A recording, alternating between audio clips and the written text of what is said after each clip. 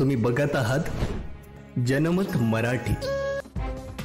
शिक्षणाबरोबर क्रीडा क्षेत्रातही नैपुण्य मिळवा व सर्वांगीण विकास घडवा असे प्रतिपादन पोलीस उपनिरीक्षक प्रवीण दात्रे यांनी आंतरशालेय क्रीडा महोत्सवात केले आहे.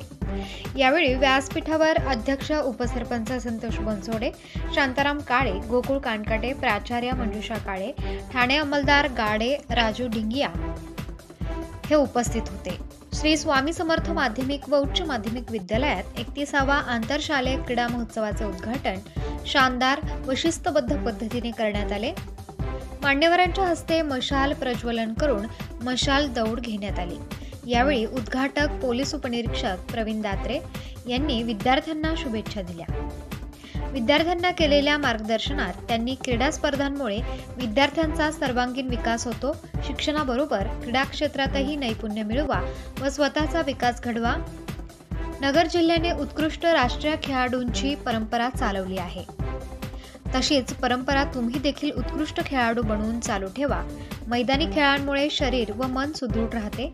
मैदानी खेळांसाठी विद्यार्थ्यांनी जिद्दीने मेहनत करून यश मिळवावे व जीवनात यशस्वी व्हावे असे सांगितले.